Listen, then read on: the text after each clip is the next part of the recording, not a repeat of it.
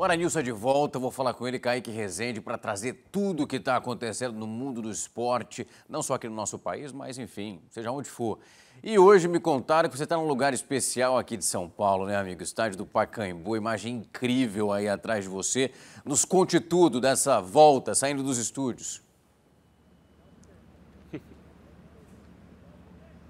Pois é, Rafael, uma ótima tarde para você, para todo mundo que está acompanhando o Hora News de casa também. Hoje eu estou aqui no meu, no seu, no nosso Pacaembu, que foi rebatizado de Mercado Livre Arena Pacaembu. De fundo vocês podem ver esse campo que está bonito demais, um gramadinho, mas hoje não tem jogo por aqui não, as obras ainda estão acontecendo aqui em volta, então se vocês ouvirem algum barulho do tipo, é por isso. Mas hoje tem conselho técnico do Paulistão masculino do ano que vem e também os sorteios dos grupos. Então teremos aqui hoje os representantes da Federação Paulista de Futebol e também representantes dos 16 clubes que disputam esse Paulistão. A gente lembra que o Paulistão ele é dividido em quatro grupos, com quatro times em cada grupo. Só que nesse grupo é diferente do como funciona na Libertadores, por exemplo, ou em outros campeonatos cada time de cada grupo não enfrenta as mesmas equipes que estão no seu grupo, apenas equipes dos outros grupos. Então, para a gente tentar explicar, quem está no grupo A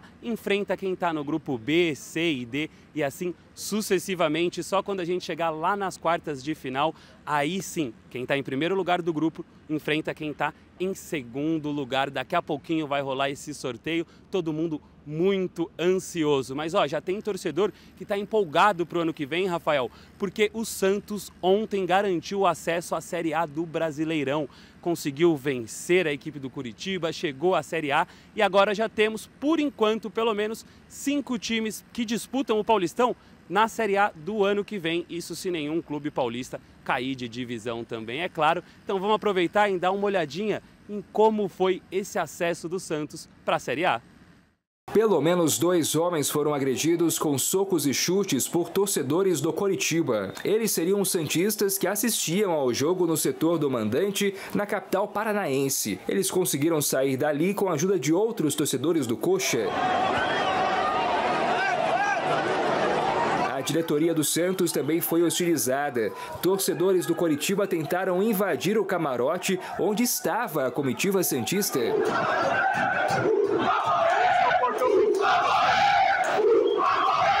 A polícia militar dispersou os torcedores com bombas de efeito moral. Dentro de campo, o Santos ganhou do Coritiba e garantiu acesso à Série A do Brasileirão. O Wendel marcou o primeiro gol.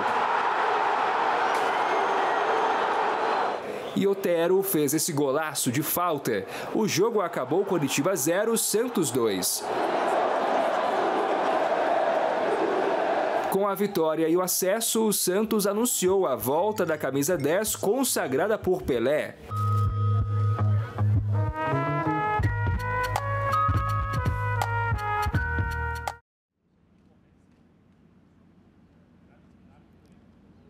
É, a gente viu aí, infelizmente, também algumas cenas não agradáveis, digamos assim, mas o torcedor Santista está feliz da vida, está empolgado, quer ver o Peixe na Série A e já quer também uma boa campanha no Campeonato Paulista, já que a gente lembra, nesse ano de 2024, o Peixe foi finalista, acabou perdendo o título para o Palmeiras. Mas, ó, quem está feliz, além do torcedor Santista, é o Léo Ortiz, Pois é, ele foi convocado para a seleção brasileira para os jogos das eliminatórias da Copa do Mundo, no lugar do Éder Militão. Ele falou também sobre essa alegria de voltar a vestir a camisa da amarelinha e também essa expectativa dessas eliminatórias da Copa do Mundo. Vamos ouvir. Muito feliz por voltar à seleção, já tinha estado aqui por três vezes, uh, sempre bom voltar e um momento importante da minha vida. Uh, lógico, triste pela, por vir por causa de uma lesão de um companheiro, né? O Militão infelizmente teve essa lesão, mas uh, venho aqui para dar conta do recado, para mostrar o meu trabalho do dia a dia e tá, tá preparado para se tiver alguma oportunidade para poder jogar pela seleção. A gente sabe que enfrenta dois adversários complicados, a, a eliminatória vem sendo muito equilibrada. Uh, enfrentar a Venezuela lá é sempre muito difícil, e depois o Uruguai é sempre um, um time complicado de se enfrentar tanto fora quanto dentro de casa. Mas acredito que a, a, a seleção vem numa crescente e o trabalho vem crescendo, vem evoluindo e a gente espera uh, fechar esse ano né, uh, de seleção brasileira com, com duas grandes vitórias.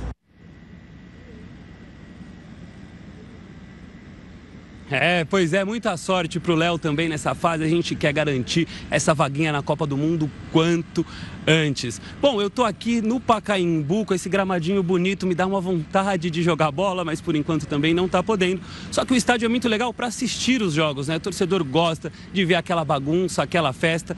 Infelizmente, os preços estão subindo cada vez mais e nem todo mundo consegue ter essa oportunidade de ver um jogo do time do coração de pertinho, no estádio. Pensando nisso, um pessoal lá de Los Angeles criou um bar imersivo, que você tem uma experiência muito diferente. Eu vou falar para vocês de casa, parece realmente que você está num estádio como esse aqui. Dá só uma olhada nessa imagem.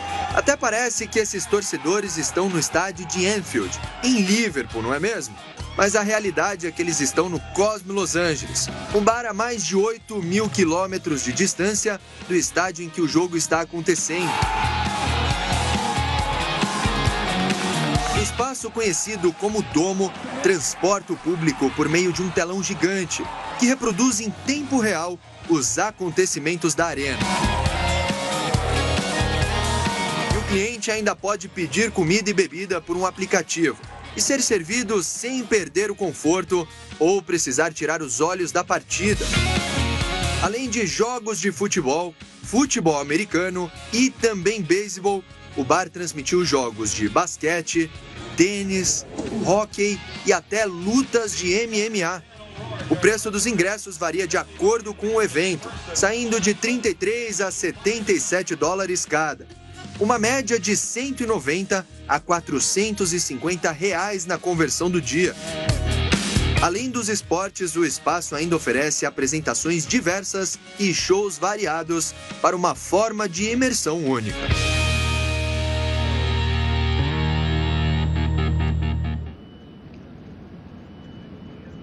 Muito legal essa ideia, né? Podia chegar aqui no Brasil também, que eu com certeza seria um frequentador assíduo. Então é isso, Rafael. Agora eu vou acompanhar o conselho também depois do sorteio. Mais tarde tem Esporte Record News, que eu também farei daqui junto com o Gustavo aí no estúdio, trazendo todas as informações dessa reunião aqui da Federação Paulista. E mais tarde no Jornal da Record News, aí sim eu trago como ficaram os grupos desse Paulistão para a gente ter uma ideia melhor de como que vai ser essa competição. Volto com você, Rafael.